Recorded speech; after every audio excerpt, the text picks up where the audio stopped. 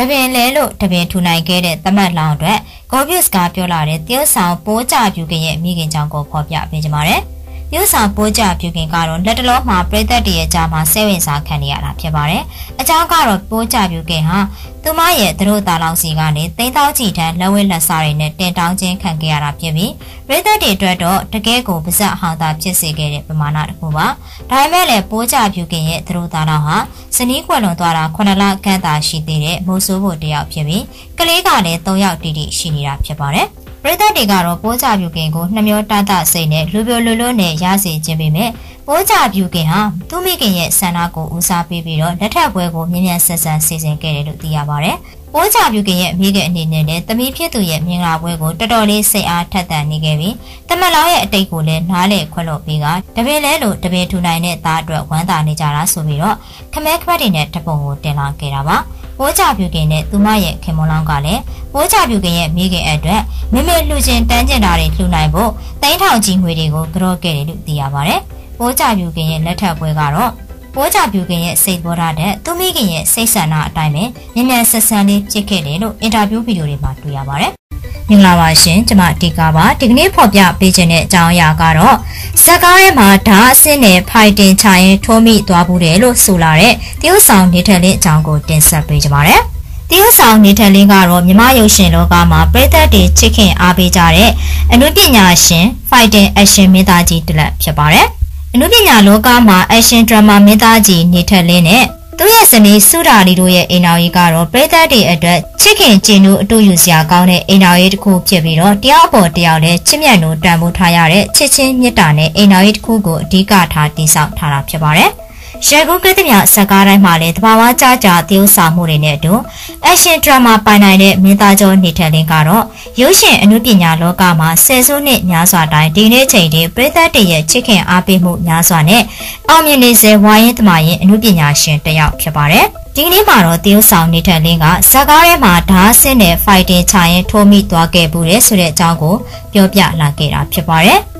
တွေးနဲ့ရှိုက်တဲ့ဇက်ကားထဲမှာဓာတ်စစ်နဲ့ဖိုက်တင်ချကြရင်တွေးကိုထိုးမိသွားလို့ရုပ်ရှင်လောကတစ်ခုလုံးပွက်လို့ရှိုက်ခဲ့ပူတယ်လို့ပြောပြလာခဲ့တာဖြစ်ပါတယ်။ ဆက်လက်ပြီးတော့ငွေလာလွှဲတဲ့သူကိုကျိုးနဲ့တုပ်ဓာတ်နဲ့ထိုးသက်ပြီးတော့ဆိုင်ရှင်ကငွေကြသိန်းနေရနဲ့ဆိုင်ကယ်ယူပြီးတော့ထွက်ပြေးသွားတယ်ဆိုတဲ့အကြောင်းအရာကိုဖော်ပြပေးကြပါမယ်။မန္တလေးတိုင်းဒေသကြီးအောင်မေတာဆန်မြို့နယ်မေဂကီရီရက်ကွက်မှာအွန်လိုင်းကနေငွေလာလွှဲသူကိုငွေလွှဲပေးတဲ့အမျိုးသားကတပ်ဖြတ်ပြီးတော့ငွေကျပ်သိန်း200နဲ့ဆိုင်ကယ်ကိုယူပြီးတော့ထွက်ပြေးသွားတယ်လို့သိရပါတယ်။နေ့ကဧပြီလ2ရက်နေ့လယ်ပိုင်းကအဲ့ဒီဖြစ်စဉ်ဖြစ်ပွားခဲ့တာပါ။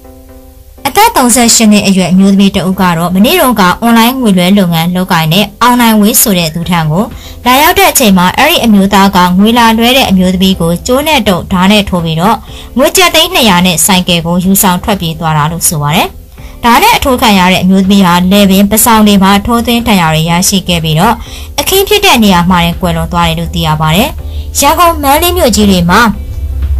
ခေါင်းမုံဓမြတိုက်မှုပြန်မေးဆွဲမှုတွေမကြာခဏဖြစ်နေတာကြောင့်တံမိုးကြီးပစ္စည်းငွေသားအများပြားခီးသွားကြမယ်ဆိုရင်အဖော်ပေါင်းနဲ့သွာလာကြဖို့သတိပေးသူတွေလည်းရှိနေပါတယ်။ဆက်လက်ပြီးတော့ရန်ကုန်စေယုံကြီးမှာတကြံကာလအရေးပေါ်ကုသဖို့ပြင်ဆင်နေရတယ်ဆိုတဲ့အကြောင်းအရာကိုဖော်ပြပေးကြပါမယ်။ဆက်လက်ပြီးတော့ရန်ကုန်စေယုံကြီးမှာတကြံကာလအရေးပေါ်ကုသရမယ့်အခြေအနေတွေအတွက်ကျန်းမာရေးဝန်ထမ်းတွေကိုအင်အားဖြည့်ထားသလိုလူနာကရင်တွေကိုလည်းထပ်တိုးပြီးတော့ဆေးပစ္စည်းတွေတိုးမြင့်ထားတယ်လို့အရေးပေါ်ဌာနကနေသိရပါဗျ။ တကြံကာလတိုင်းနှစ်စဉ်ဆောင်ရွက်နေကြအတိုင်းပဲအရေးပေါ်ဌာနရဲ့ကုသပေးမှုအခြေအနေကိုပုံမှန်အချိန်တွေထက်တိုးမြင့်ဆောင်ရွက်နေသလိုအခုနှစ်မှလည်းအရေးပေါ်ကုသရေးအတွက်ဝန်ထမ်းအင်အားစစ်ပစ္စည်းတွေတိုးမြင့်ဆောင်ရွက်ထားပြီးတော့အရေးပေါ်ဌာနအတွင်းထိခိုက်ဒဏ်ရာရလူနာတွေများလာရင်ပုံမှန်ကရင်တွေထက်တိုးထားနိုင်ဖို့နေရာတွေစီစဉ်ထားတယ်လို့ရန်ကုန်စေယုံကြီးအရေးပေါ်ဌာနကဝန်ထမ်းတွေကပြောပါတယ်။မနစ်ကတကြံကတော့ပုံမှန်လူနာပဲရှိတယ်။အရင်လိုထိခိုက်ဒဏ်ရာရပြီးတော့အရေးပေါ်အခြေအနေနဲ့ရောက်လာတာမျိုးတွေမရှိသလောက်ပဲ။ ဒီနှစ်ကတော့ဘယ်လိုလာမလဲမသိသေးဘူး။ပြင်ထားလို့ပြောတော့လေပြင်ထားရတာပေါ့။မနစ်ကလိုပဲဆိုရင်တော့ပြင်ထားတာပဲအဖက်တင်မယ်လို့ဆိုပါတယ်။။တကြံကာလတွေမှာတော့အရေးပေါ်အခြေအနေနဲ့မတော်တဆဖြစ်တဲ့လူနာတွေခိုက်ရန်ဖြစ်ပွားလို့ထိခိုက်တဲ့လူနာတွေအပြင်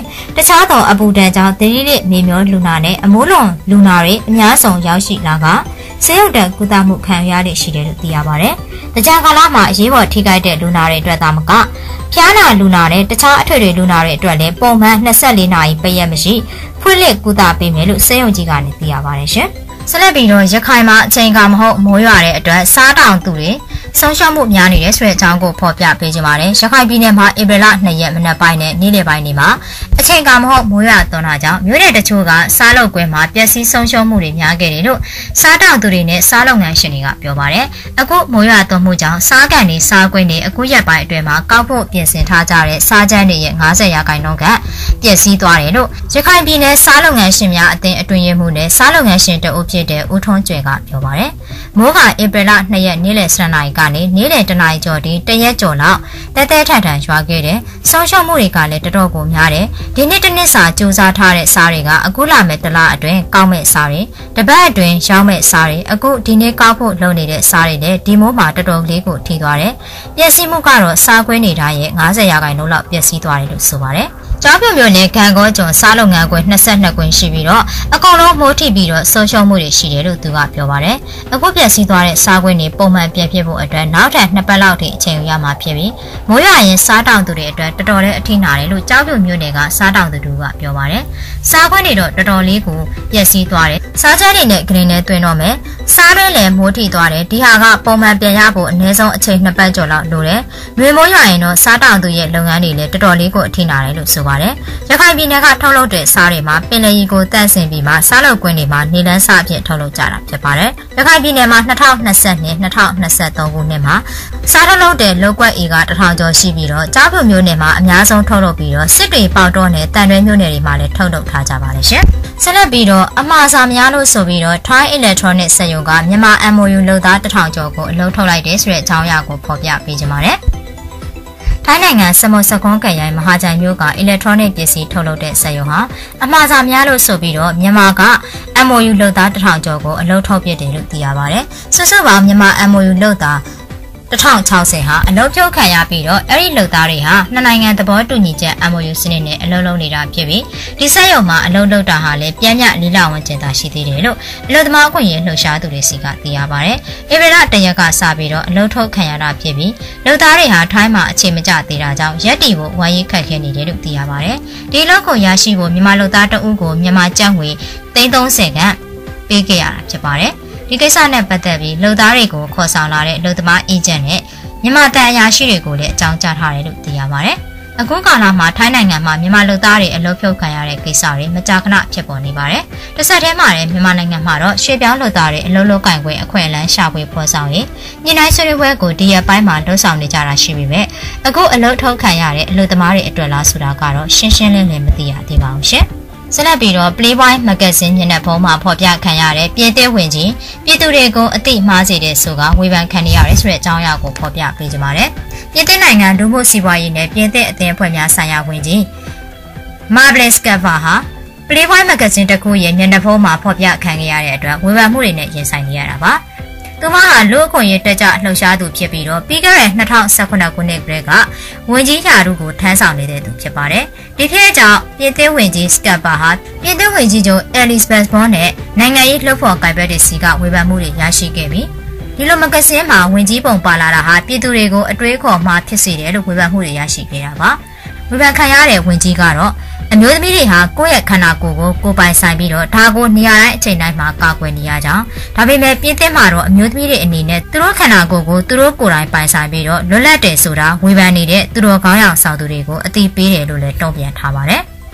စကပ်ပါရဲ့ဓာတ်ပုံကြောင့်ဖော်ပြခံရတဲ့ Playboy Magazine ဟာအပြမဂဇင်းမဟုတ်ပေမဲ့လည်းအဲ့ဒီမှာဖော်ပြတဲ့အဖော်ချွတ်ဓာတ်ပုံတွေကြောင့်နာမည်ကြီးပါတယ်ဆက်လက်ပြီးတော့ဆယ်တဲ့တက်ကြီးဖျားအကြောင်းကိုဖော်ပြပေးကြပါမယ် ထက်ကြီးဖျားတွေကထက်ကြီးဆိုတဲ့စကားလုံးရဲ့အတိတ်ပဲကိုမသိသူကများပါလိမ့်မယ်။ထက်ဆိုတာကဘာထက်ကိုပြောတာလဲဆိုရင်အထက်လားဝါရလားကြီးစင်ငယ်လိုက်လားအဓိကကတော့ဖျားတီလို့ညမ်းစင်ရင်ဝါနဲ့ဆင်ရပါတယ်။ဝါကို6ပြန်ဆက်ပြီးဆင်ရတဲ့ဖျားမလို့6တက်ကြီးဖျားလို့ခေါ်တာဖြစ်ပါတယ်။ဝါ9ပြန်ဆက်ပြီးဆင်တဲ့ဖျားကြတော့9တက်ကြီးပါ9တက်ကြီးကြတော့ဝါကို9ပြန်ဆက်ဆင်ရတာပါ။ပြည်က10တက်ကြီးဖျားကတော့ဝါ10ပြန်ဆင်ရလို့10တက်ကြီးလို့ခေါ်ပါတယ်။ ဒီနေရာမှာတချို့သူတွေကငါးတက်ကြီးနဲ့ကိုးတက်ကြီးကတိတ်မကွာဘူးလို့ပြောကြတယ်လို့တချို့သူတွေကဝါကိုးပြန်တော့မမြင်ဘူးလို့ပြောလာကြတဲ့အတွက်အနှင်းငယ်ပေါ်ပြပေးကြပါတယ်ဆယ်တက်ကြီးဖျားရဲ့အမြင့်ကတော့130ပေမြင်ပါတယ်ကိုးတက်ကြီးဖျားရဲ့အမြင့်ကတော့82ပေနဲ့6တက်ကြီးဖျားရဲ့အမြင့်ကတော့52.5ပေပါ